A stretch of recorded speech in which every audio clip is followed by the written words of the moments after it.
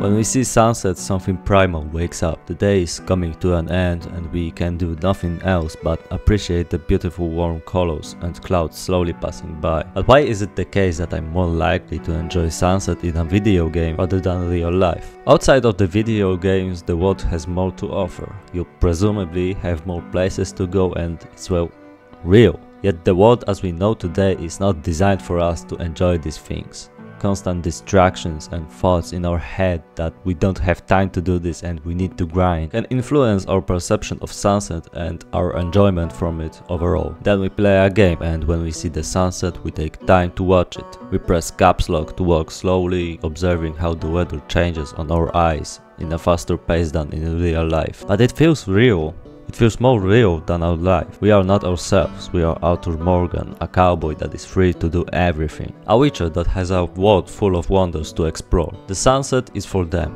not us yet we enjoy it with the characters. It adds to the scenery and conveys certain emotions present in our hero's journey and in ours. It feels real to not be distracted or having something important to do. It's virtual, we think we have time to do everything, hence we have time to appreciate the sunset. The virtual world is designed for us to enjoy the experience, it's made for us to be present and actually pay attention. We immerse ourselves into this world just so that a day passes there. But our day doesn't end with a sunset. We are still programmed to feel this primal awe towards seeing something so beautiful, yet the day ends when we want it. You can always drink coffee or force yourself to play longer and stay up until 4am. That's why the sunset loses its value.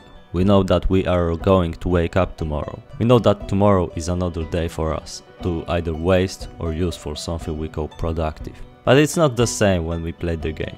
We know when the story ends, we know that once it ends, we're not going to see the characters for some time. Sunset gets another meaning then. The work of art that carries so much emotions and memories is a reward that you get from enjoying it.